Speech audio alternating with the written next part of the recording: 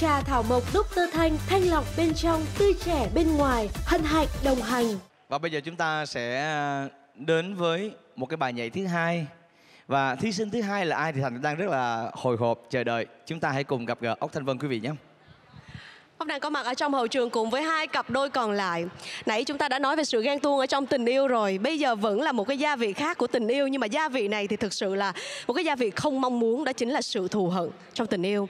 Chắc chắn là nếu như chúng ta nuôi lòng thù hận Thì rất là khó để mà giáp mặt người yêu cũ của mình Bởi vì trái đất là hình tròn mà. Cũng không thể biết là lúc nào chúng ta sẽ gặp lại người yêu, đúng không? Vậy thì mong rằng là nếu như có thù hận tồn tại trong tình yêu của bất kỳ một ai đó, Thì chúng ta hãy dùng chính cái tình yêu và cái sự chân thành của mình Để có thể hóa giải thù hận. Để hiện thực hóa cái lời mà ốc vừa chia sẻ thì có lẽ là không gì hay hơn là chúng ta sẽ cùng đến với một bài nhảy. Và chúng ta sẽ cùng đến với một màn đấu kiếm, thưa quý vị. Màn đấu kiếm này sẽ biến thù hận trở thành tình yêu. Và đây sẽ là tiết mục được trình diễn bởi thí sinh nữ duy nhất vô cùng xinh đẹp của chúng ta, tố tố. Chúng ta sẽ cùng chào đón tố tố và đình lộc.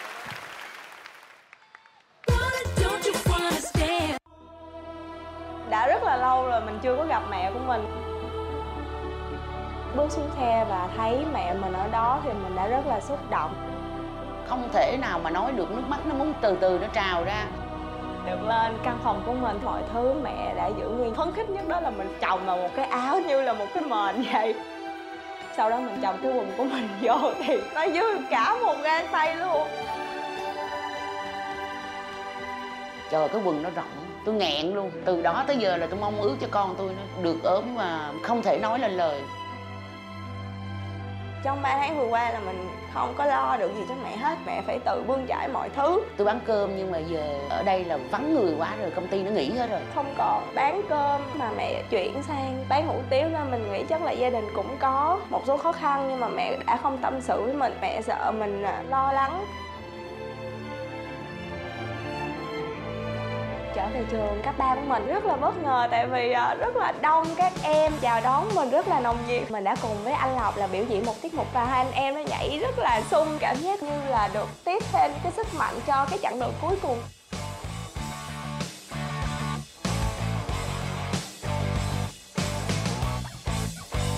Mình có một cái đám bạn rất là thân, một cái sự bất ngờ lớn xảy ra, đưa cho mình một cái hộp. Thì mình mở ra là trời thấy một cái hình nặng đất sét nặng theo từng tuần hạnh phúc lắm luôn. Mình đã quyết định sẽ dành cái ngày chọn nó cho mẹ, dậy thật sớm cùng nhóm bếp với mẹ, cả hai cùng đi chợ, cùng về nấu và cùng về bán. Con sẽ làm những cái điều đó để cho mẹ vui mừng được hạnh phúc hơn vì là con đã trở về rồi.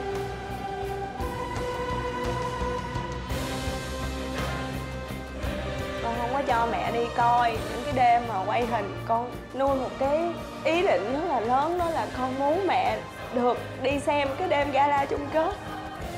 Mẹ không cần con phải đậu nhất nhì ba gì hết á nhưng mà mẹ muốn cho con giảm cái ốm. Con hy vọng là mẹ sẽ cảm thấy vui hạnh phúc và tự hào vì con gái của mẹ em đã lớn đã trưởng thành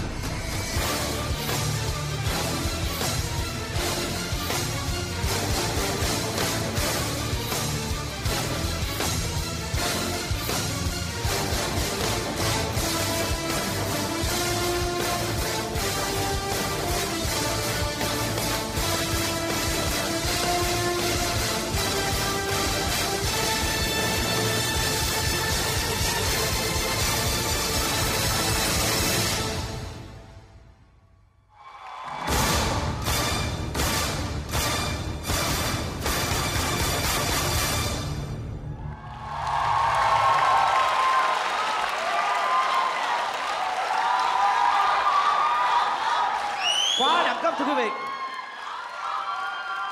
tố tố và đinh lộc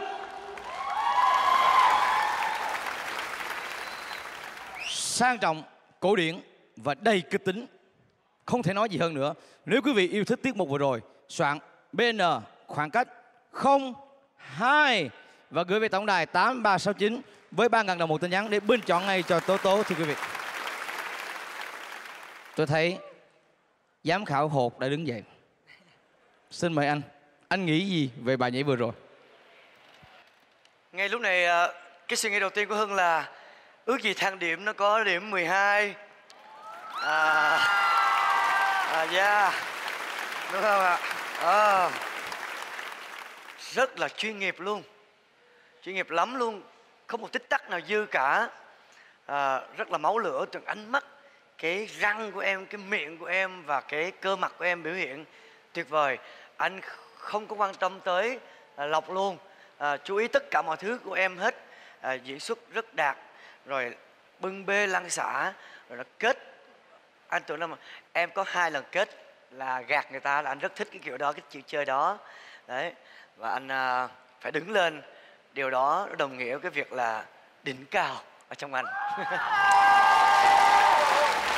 Đỉnh cao đó nha anh ơi anh có thấy là có một tí máu lai tây thì gọi là hận nó cũng hận hơn người khác.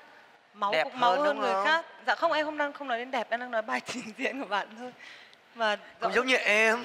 Ờ, không anh cũng thấy là khi em làm cái gì cũng rất là quyết liệt và cũng phải đi tới tận cùng là phải chiến thắng. Không. đó, là- đó là cái máu lửa Anh Hưng ơi, Hà Hồ coi vậy thôi chứ Vì em yêu đuôi Muôn đời Hà vẫn yêu đuôi giả bộ vậy thôi.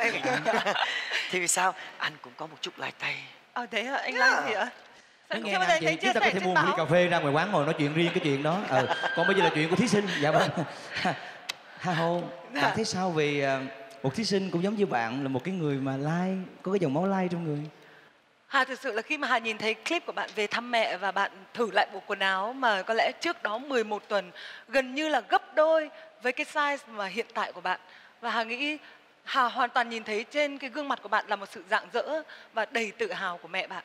Hà, Hà lúc mà Hà nhìn cái clip đấy thì Hà tự viết ở ngay đây cái dòng chữ mà Hà muốn nhắn nhủ cho bạn trước khi xem bài diễn của bạn. Hà mong rằng là những cái ước mơ, những cái hoài bão và đây động lực nữa đừng có chỉ dừng ở tại bước nhảy ngàn cân mà bạn phải nuôi nó tiếp tục nữa. Bởi vì đây là cái điều mà Hà nghĩ rằng là rất nhiều người ở ngoài kia hay ở trước TV vẫn đang muốn nhìn thấy một chứng minh, một người nào đó đang sống thực sự, đang làm thực sự chứng minh cho họ thấy bạn làm được, họ cũng sẽ làm được. Bạn sẽ là người truyền được cái cảm hứng cho rất là nhiều người. Và khi mà Hà xem bài nhảy của bạn nữa thì Hà chỉ ghi vào đây rằng là, máu lửa, tinh tế, không còn điều gì để chê, nhịp điệu tốt tập trung cao độ bạn quá tuyệt vời. Đây là những gì mà hà ghi về bạn. Và thưa quý vị, tôi đã có một cái lời tiên tri. Tôi đã nói là Rồi sẽ có ngày Tô Tô đứng trước mặt Hà Hồ Để đọ nhan sắc một lần nữa. Đúng không quý vị? Ngay cái tuần lễ đầu tiên. đừng bắt chúng tôi phải đọ bất kỳ một điều gì với nhau mà hãy để chúng tôi ủng hộ nhau được không ạ? Ok ok. Hôm nay là quý vị thấy là Tố Tố đã thật sự trở thành một hot girl rồi Gương mặt rất là xinh đẹp Quá nha. xinh. Anh chúc mừng em về cái điều này Hy vọng là sau chương trình này em sẽ tìm cho mình một soái ca Thật sự xứng đáng với em nha Mà em phải cảm ơn cái anh huấn luyện viên của em Anh cũng quá giỏi Và John, mời John Em là một cô gái hip hop. Hip hop. Yes. Và hôm nay, mọi, không phải chỉ hôm nay nhưng mà mỗi tuần Bollywood, Jazz, Broadway, Latin. Em em, không có thi nhưng mà em thực sự em em you kill it. Em viết mấy cái bài em hiểu không? Cái đó là một cái điều rất là tuyệt vời. Em viết mấy cái bài này, you kill it. Yeah. Và trong hôm nay, trong cái bài hôm nay, trong cái chung kết hôm nay, tất cả mọi thứ em cần, em đem. Bài này máu lửa nè, tuyệt vời nè, cũng hơi bạo lực một tí.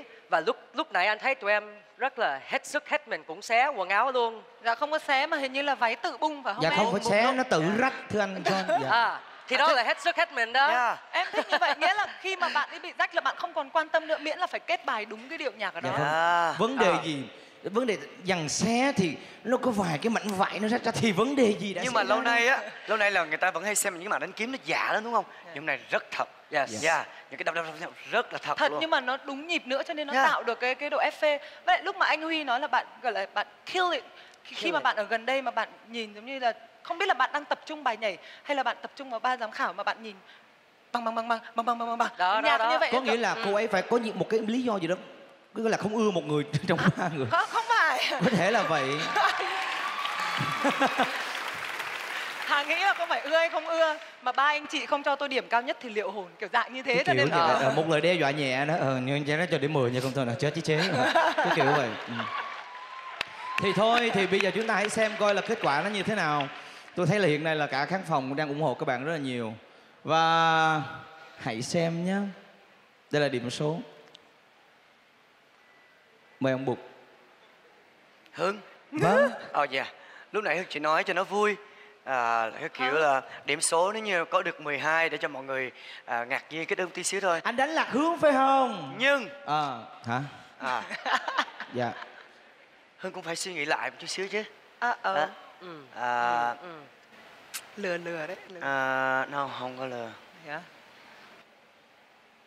Hơi mệt quá 10 đường nào cũng về la mã thôi. Dạ. Mười thưa quý vị. Hà hô. Em em cũng sợ cái, cái hù dọa lúc nãy lắm. Đúng rồi đấy em sợ. À, nhưng mà em mười. Cũng là mười. Trao trọn trái tim. John. Ừ. you kill it or they kill you. Yeah. Mười. mười. Thưa quý vị một áp lực khá lớn cho hai thí sinh còn lại bởi vì họ đã nhận được ba con mười tuyệt đối từ ban giám khảo.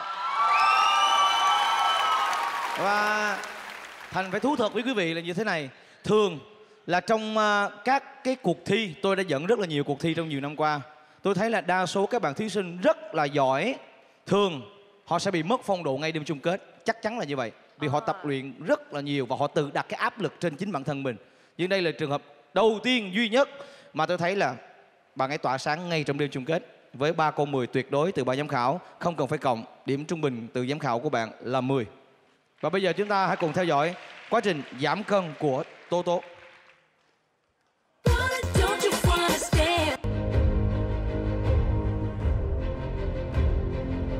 Tên là Nguyễn Phú Phương Tố Tố. Mình rất thích ăn cơm của mẹ. Những cái đồ ngon là không có cưỡng lại được. Cộng thêm uống thuốc bổ nữa. Nên là mình đã mập lên từ từ từ từ. Hồi trước tới giờ mình rất là lười tập thể dục và không thích tập thể dục. Đứng lên là cũng khó khăn nữa, chứ đừng nói là cái việc mà mình phải duy trì hàng ngày. Thử thách rất kinh khủng. Cái bánh xe rất là nặng. Khi mà mình cúi xuống mà mình lật cái bánh xe lên đó thì thật sự là lật không có nổi cái lòng bàn chân của mình đang rất là đau. Phải mặc áo mưa và chạy liên tục mình rất bất ói luôn không thể nói một cái lời nào nữa.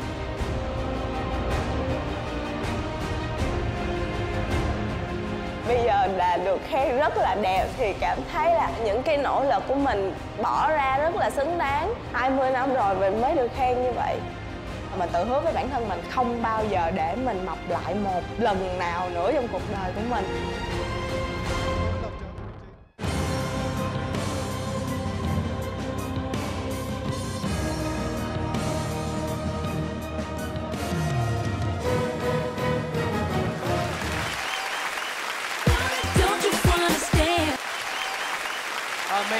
thưa quý vị, Như một quý bà Rất xinh đẹp, Rất là sang trọng. Chúc mừng em.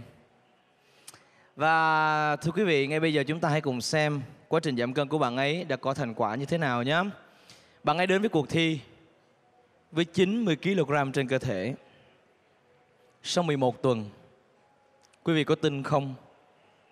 Một phần ba trọng lượng cơ thể đã được vứt bỏ, còn 60 kg bây giờ giảm được 30 kg. Đây là cô gái cật lực nhất trong việc giảm cân. Và điểm trung bình giảm cân của bạn là được 3,3 cộng với điểm giám khảo bạn đang có 13,3 điểm. Chúc mừng Tố Tố. Đây là một điểm số thách thức cho hai thí sinh còn lại.